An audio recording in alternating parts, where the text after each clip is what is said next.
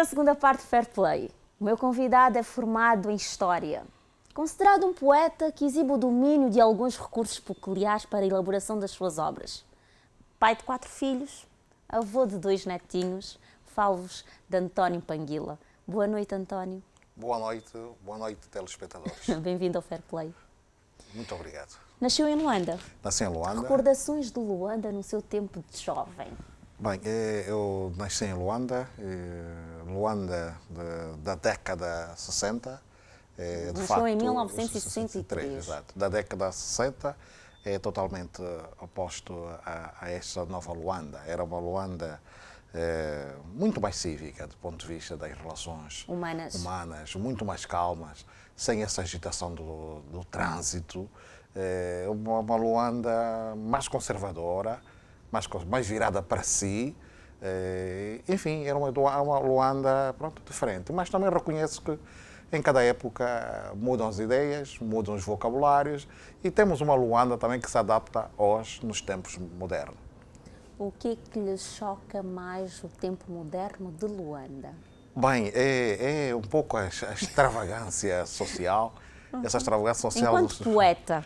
Bem, enquanto poeta. O que é, é que lhe choca mais? É o desencanto das pessoas, né? Acha que as pessoas estão mais amarguradas agora? É, é, há uma certa pressão social, há uma pressão social que fazem das pessoas uh, mais egoístas. Mais egoístas. O sentido de solidariedade, a taxa de solidariedade é bastante reduzida. Hoje já não temos aquela solidariedade que tínhamos ontem, porque também a sociedade está mais agressiva, há menos confiança e as pessoas também querem se autoproteger, porque às vezes um gesto de solidariedade pode às vezes não ser entendida por outra pessoa. Então, me refiro aqui já o fenómeno do Da, da, da, criminalidade, por exemplo. Então, isso também faz com que a taxa de, de solidariedade baixe. Mas é uma questão temporária. Uhum. Acredito que essa situação irá ultrapassar. Normalmente, as metrópoles, para usar o conceito mais antigo, são sempre, são sempre as capitais são sempre cidades afetadas, afetadas cidade cosmopolita, então ali também há uma convivência multicultural, multissocial. Por isso... É formado em História. Certo. Nunca se dedicou à História? Bem, eu sou formado, de facto, em História. Nunca me dediquei à História como uma atividade profissional. O que a História foi apenas enquanto professor de História, mas em razão também do mercado, acabei por eh, fazer, para... Eh, fazer outras coisas, enveredar para o setor bancário. Eh, Ainda continua no setor portanto, bancário? no setor bancário em termos de formação, o setor bancário. Então, busquei uma outra formação. E como também há sempre esta valência de fazer muitas coisas, ter vários ofícios, ofícios. então faço, faço da história, da literatura, para alimentar a mente e faço da, da, da formação bancária Nós para cuidar a, dos Terminou dos a licenciatura em História com quantos anos? Olha, eu terminei já mesmo na década, na década, na década 80. Na década, não, perdão, na década 90. Quando é que descobre a sua veia poética? A minha veia poética já leva, já leva mais de, mais de duas décadas. Comecei, escrevi o primeiro texto em 1979, a quando da morte do presidente Agostinho Neto, o poeta Agostinho Neto. Então escrevi um texto que hoje não tenho nos meus arquivos, mas tinha o título de Partiste Presidente. Então escrevi esse, esse, esse, esse texto. Os meus professores de língua portuguesa. Ainda tem esse texto? Não, já não tenho. Já não tenho. Mas tenho... se recorda? Só me recordo do título. Só me recordo do oh. título. Uh, infelizmente eu não tenho, não tenho, não tenho isto, só recordo apenas do título, Partido Camarada Presidente. Os meus professores da língua portuguesa me incentivaram uh, para esse mundo da literatura. Eu também fui, uh, fui aluno do, do, poeta José Luís Mendonça, em língua portuguesa, na altura já estava, estava ali no, no chamado terceiro nível, né? Uhum. estava, estava a, a terminar o terceiro nível, então ainda apanhei esta fase com José Luís Mendonça, também deu-me um impulso para a vida literária, li os meus textos. Depois encontrei outro companheiro de estrada literária, que é o poeta Lopito Feijó, eh, que por sinal viveu, viveu no mesmo bairro em que eu vivi, uhum. no Cazenga, no Cazenga, ali quem vai para a Quinta Avenida.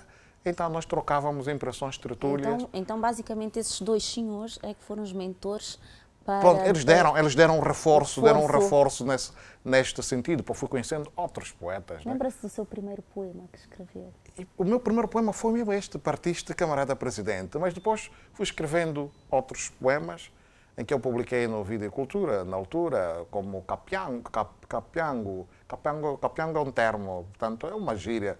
Quem, quem rouba, né? Mas é, é, é gatuno. Mas também este está no livro Vento do Parto, Vento que infelizmente também não tenho, já não tenho um exemplar.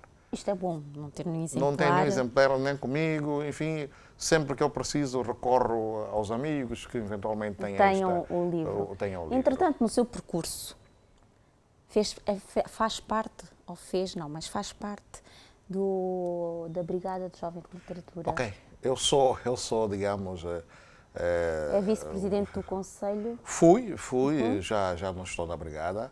Eh, Em 1984. O que é que a Brigada, o que é que a brigada traz de bom para os jovens? Bem, a brigada, na altura em que nós Porque eu vi você andamos, ah, fez uma grande carreira lá Fiz, dentro. fiz uma grande E carreira. nota-se foi um trabalho Fui muito até fui pertencer quase a todos os órgãos. Exa- da- exatamente, de passou por da todo- por to- por todos os órgãos que tinha Exato, que existir, a brigada. que- a brigada é, no fundo, uma oficina, não é? É, é, é um meio uh, literário cultural Mas para é, é, é um meio para incentivo. Sim, para Nós temos incentivo. muitos jovens que percorrem para a- essa incentivo brigada. e também para lapidar os textos literários do jovem. Porque ali há muita tertúlia, troca de opiniões, trocas de textos. Então, há sessões de apreciação de textos. Estamos a falar de quantas pessoas para esse, esse- esse- esses Bem. encontros para tertúlias?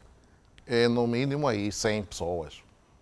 100 pessoas. E a Brigada teve um projeto muito interessante que parou, que era a chamada Tarde dos Poetas, que na altura o- já o João de Bela, também poeta, eh, foi o promotor desse projeto, que ia aos bairros para ter sessões eh, de apreciação literária e declamação de poesia. Portanto, a Brigada é e foi e aí continua a ser um movimento importante na, na literatura, base. uma base que precisa só nesta fase se reorganizar para ser muito mais agressi- agressivo como foi no, no passado.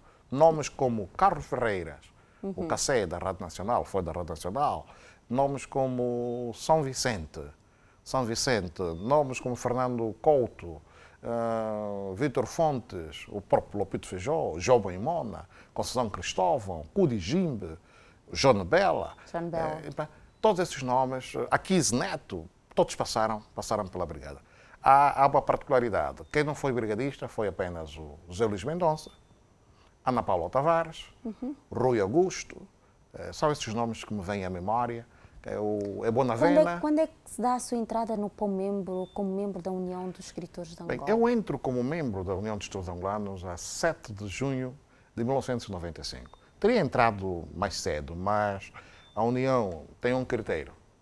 Isso aí há, entra, há um tem- critério tem, de tem que acordo com o número obra, X de, exato, de tem que ter obras. uma, uma obra, na altura era uma obra publicada. Uhum. Não, eu, apesar de ser um poeta da década, da década 80, me afirmo como Em poeta da 93 década a 95, deixe-me vir a cabo. eu publico em 93. 93. O Exatamente. primeiro livro publico em 93. Eu publico em 93, mas também graças a um outro poeta, que, que é o Frederico Ning, que na altura pronto, era um funcionário de uma empresa estratégica, a partir dos seus recursos pessoais, eh, revoltantes das suas viagens, patrocinou-me a edição deste Do, deste- vento, do, de do Vento parto. do Parto. O que é que sentiu? Senti muito satisfeito. Foi mesmo parto. foi mesmo parto, foi mesmo parto. E depois irás compreender agora trilo- essa trilogia. Hum.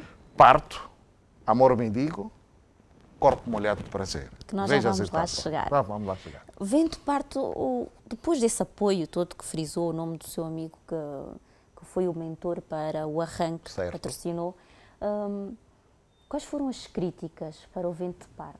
Olha, eh, o Vento de Parto teve uma boa recepção da, da crítica, eh, porque também eu, nesse Vento de Parto, trouxe uma perspectiva diferente, uma perspectiva muito mais angolanizada. Eh, há muita angolanidade, textos eh, eh, com expressões idiomáticas, quimbundo e, e português.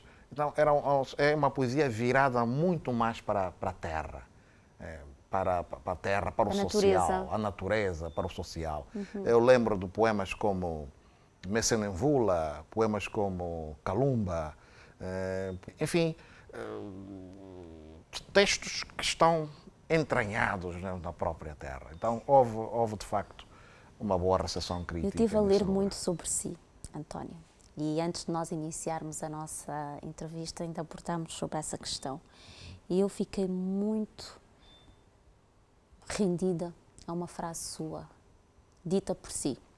Eu tirei um trechozinho que me, f- que me tocou, e que disse a uma entrevista que deu o seguinte: o mais parecido com a poesia é um peão ou um prato de cerâmica ou uma tábua eternamente lourada, ainda que seja por rudes mãos. O que é que isso quer dizer? Bem, é, Como é que compara a poesia com um peão? vós sabes que Ou seja, como é que iguala, não compara, iguala. Ok, eu posso. Ah, vós sabes que a poesia só é poesia se tiver musicalidade, se tiver beleza. Um pianista é um criador de melodias. Então, a, a vida, a vida, a vida é uma orquestra. Mas quando mal instrumentalizado, cria o ruído. Então, o ruído na vida dá o desencanto, porque acaba por perder o encanto, perder a magia. É esta mística.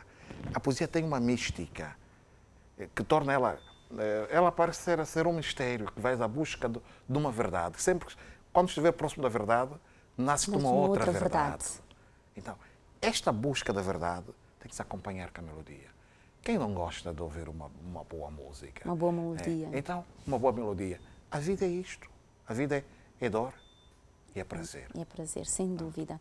Ah, por dizer que a vida é dor e é prazer, deixe-me. Posso até estar errado, mas foi a interpretação que eu dei quando li sobre si. É tão ligado à natureza, é tão ligado aos factos reais, que eu senti que cada facto real que vive consegue transmitir no- no- nos seus poemas. E tanto ele pode ser de dor como também De prazer. prazer. E foi assim que me chamou a atenção a segunda edição do seu livro, que diz Amor Mendigo. Que é mendiga, pede, rasteja. É. E eu fiquei a pensar, ainda liguei para a minha produção e disse: vocês não conseguem esse livro, Amor Mendigo? E já era muito tarde, não dava. Fui pesquisar na net, também tinha muito pouca coisa, digo-lhe já. Então eu própria comecei a estudá-lo e comecei a imaginar do que é que se tratava o amor mendigo. Porque não se mendiga um amor. Portanto, tem, teve de ser um livro feito, quiçá, de base da dor. Certo. Eu só quero que me confirme. Não, está confirmada a vossa interpretação. Está, está confirmada. É, é, o Amor Mendigo foi até profissional prémio, prémio literário Cidade de Luanda, na primeira edição de 1996. E podes eh, reparar, observar, a década, a década 90... Qual deles, qual deles foi traduzido para inglês e francês? é, é, alguns poemas do Amor Mendigo. Men- Exatamente. alguns amor poemas do Amor Mendigo. Eh, fundamentalmente numa, numa sessão que é chamada sessão Cacimbo, que a Aliança Francesa organiza Uhum. anualmente. Eles convidam uns- um, um poeta eh, nacional na- e também um, um- um poeta eh, estrangeiro, estrangeira. estrangeira. Em conjunto fazem animação, leem poesia e eles traduzem, traduzem os textos para, para a parte francesa que estiver no O que é que sentiu? evento. Verem, eh, ver a importância que as escolas estrangeiras dão num contributo nacional. É uma grande satisfação. O escritor vive, vive, sobretudo o poeta, vive dos leitores. Ele tem que ter, tem que ter audiência, tem que ter leitores. É como a, a televisão. Se não tiver audiência, não se faz televisão. Sem dúvida. Então, nós temos que ter o retorno. Esta, esta, esta, esse retorno é que nos dá satisfação de, de continuar a escrever, de continuar a, a, a criar utopias e À da volta nossa, de- volta, à volta da nossa própria vida. Então, voltando ainda ao amor mendigo, de facto foram, foram factos eh, Reais, reais dor. vivenciados de dor. Eh, era um momento, um bocadinho um momento da, da, da, De uma da- de uma crise, de uma passagem sentimental. E porque nós, os caranguejos, eu sou caranguejo, então Vocês somos, morrem de somos, amor. somos, somos muito maternos. Muito maternos, Então, muito. eh, somos magoados com facilidade. Então, graça, graças a a uma certa mística que levamos dentro de, De nós, porque vocês. os caranguejos têm, eh, têm a propensão de serem eh, um pouco mais espiritualistas, olhar, pensar nas ideias, sentir, enfim, eles são até românticos, são conquistadores, enfim, mas também sofrem muito quando A escrita serve de terapia para si. é terapia, é terapia. Consegue ultrapassar a. Evidentemente. Então nós colocamos, colocamos as nossas angústias num papel e, enfim, acaba por ser escape para que não, não, não, não, não, não atiremos eh, uma jarra. Não tenhamos uma eh, reação mais- mais violenta, mais violenta. fis- fisicamente. Então, a poesia nos dá esse, esse refúgio. E nesse refúgio, os leitores também irão se identificar. Vou-lhe fazer uma pergunta. Antes de irmos diretamente ao livro que eu quero falar, que é O Corpo Molhado de Prazer. Como é que, o que é que valoriza mais num ser humano? Sinceridade acima de tudo. Sinceridade. Está respondido. Vamos então diretamente ao livro que chamou imensa atenção ah, aos críticos, porque eu estive a ler na net. Foi um livro extremamente falado, criticado na forma mais positiva em si, que é O Corpo Molhado de Prazer, que está aqui, de António Panguila. Ah, Deixe-me dizer. ah, Corpo molhado de prazer dá uma sensação que é algo ah, sensual. É algo que se entrega. Depois eu olho para a capa e vejo uma lágrima. Disse, há qualquer coisa aqui que não, não, que não cruza. Eu deixo. Deixa-me perguntar ao meu convidado porque esta relação do corpo feminino, que isto é um corpo feminino, e a lágrima a escorrer. Bem, aqui a responsabilidade é do, é, é do, é do pintor, é do artista Kisanga, Kisanga que eu muito agradeço. Eh, Eu também, no conjunto de, de- de várias imagens, vários quadros que ele tinha, acabei, acabei por selecionar este, Tá este, este, este, este, este quadro. É, Está de parabéns, o Kisanga. Agora, eh, qual é a perspectiva? É a perspectiva do que o princípio da dualidade. Do ponto de vista filosófico, a vida rege-se por um princípio de, de dualidade, onde amor, Ao há ódio. ódio, onde há prazer, há dor, dor. onde há tristeza, Há alegria. há alegria. Então, o amor não é feito só de, de- de rosas, também há espinhos. Mas o que pode parecer é o seguinte: a dor de hoje poderá ser prazer de amanhã. Prazer de hoje poderá ser dor de amanhã. Exatamente. E aqui vamos abrir um parente simples: Angola.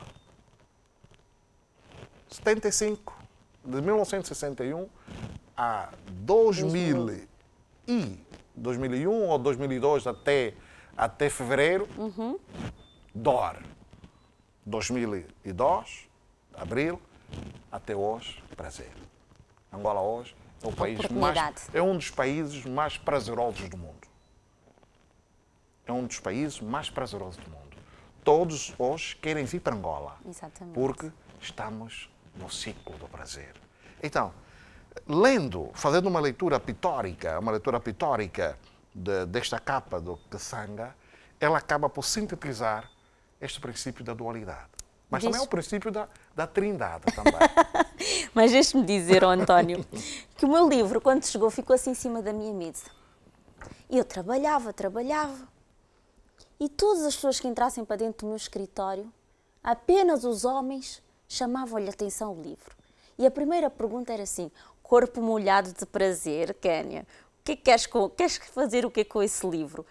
De repente, o primeiro disse, não levei muita consideração. Quando o terceiro volta a frisar, eu disse: Meu Deus, foi feito mesmo por um homem. É porque esse título reage, tem reação. Do ponto de vista da, da estatística, da psicologia, Da- três vezes a psicóloga- já, já, já, já é uma tendência. Exatamente. Então é um dado que se deve aferir. Que se deve aferir. É, de facto, eh, eu estou agora numa fase de uma poesia erótica sensual. É, é propositado, eh, dentro da minha É estratégia. propositado escrita. para, para afetar ou para influenciar a quem? Bem, é para trazer um pouco eh, essas memórias eróticas, há um tabu. A sociedade vive do tabu de falar de sexo, Sem de falar dúvida. do amor. do amor. Mas o amor vive-se, sente-se, E é diário. é diário. Então, se nós vivenciamos o amor, por que não trazer essa experiência erótica, Para os livros. essa sugestão erótica para os livros? Também ajuda para a educação, educação, digamos, sexual das pessoas.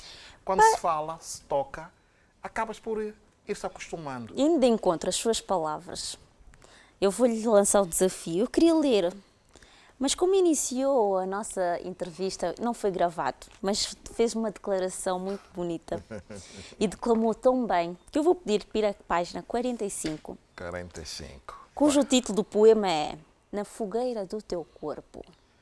Página 45. E eu espero que me Bem. declame tal poema. Bem, vou, então vou, vou declamar o poema. Na fogueira do teu corpo. As palmas das palmeiras do quimbo aplaudiram o incêndio dos nossos corpos, enquanto a lua morria de raiva.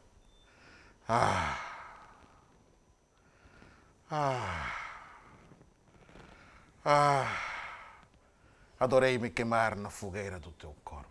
Conte-me Adorei me queimar na fogueira do teu corpo. a sua experiência.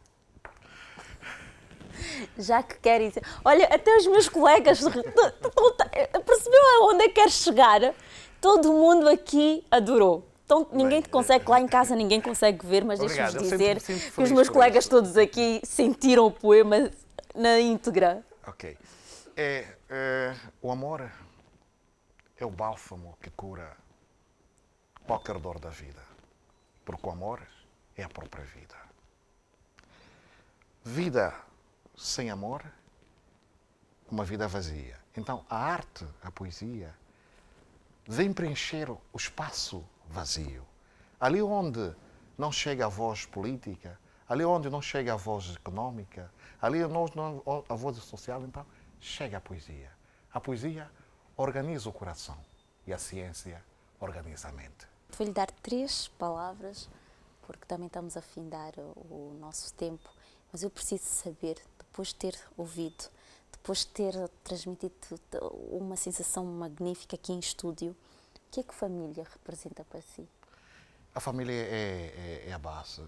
A família é o núcleo né, mais importante, é a instituição mais importante que existe e porque também é uma instituição divina. Então, é, sem o sentido de família, também a sociedade não avança. Aliás, a sociedade é um conjunto de famílias. São as famílias que fazem, que fazem a sociedade. O homem, enquanto masculino, o homem na íntegra da palavra. Bem, eh, o homem eh, em si, enquanto masculino, ele é parte da natureza, mas ela, ele só é homem com o complemento da mulher. É ali, mais uma vez, passa a repetição, o princípio da dualidade, onde há homem, há mulher. Então, vamos procurar viver a vida com prazer, superando as dores. Uma frase para, uma para a palavra mulher? Se eu pudesse me esconder no lençol da tua boca, comê-lo ia inteira. António, muito obrigada. e assim Perdão, termino. perdão a- ousadia. E assim termino tão bem, tão contente com a minha última parte do Fair Play. Caro telespectador, Obrigado, obrigado. chegamos ao fim de mais um Fair Play. Obrigada pela sua companhia. Caso queira rever esta entrevista, pode vê-lo no nosso site www.tvzimbo.com. Boa semana de trabalho, boa noite.